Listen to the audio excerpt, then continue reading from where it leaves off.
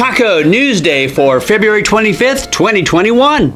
Top stories for the day. Photos from the Mars rover Perseverance, an underwater museum off the coast of Cannes, France, and the migration of the monarch butterflies. By the way, today is National Chocolate Covered Nut Day, National Toast Day, National Clam Chowder Day, and National Chili Day.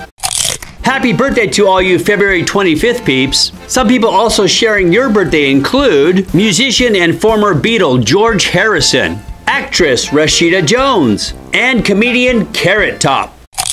Trivia. Trivia. Which one is louder, the roar of a lion or a lawnmower?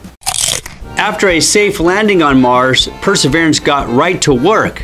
This past week, the rover brought back some interesting photos of the red planet.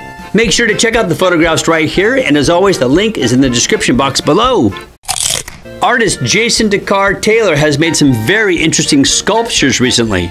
But in order to view these sculptures, you're gonna have to put on your swimsuit and take a dive. Mr. Taylor has spent four years sculpting these massive heads that weigh 10 tons. When it was all said and done, he sunk them to the bottom of the sea off the coast of Cannes, France. But these massive sculptures actually have a function. You see, they support the fragile ecosystem of the Mediterranean Sea. For more information on Jason Taylor, the artist, and his amazing work, check out his website right here.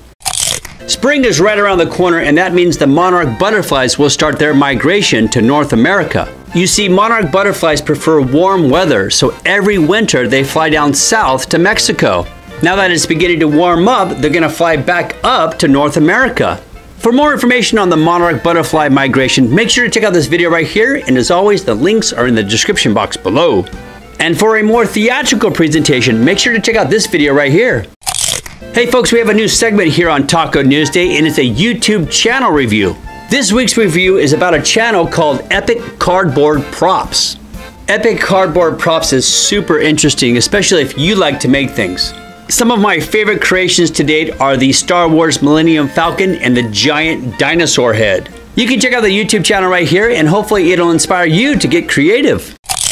It's that time to reveal the answer to our trivia question for today, which is louder, a lion's roar or a lawnmower? And the answer, and the answer is, is A, a lion's roar.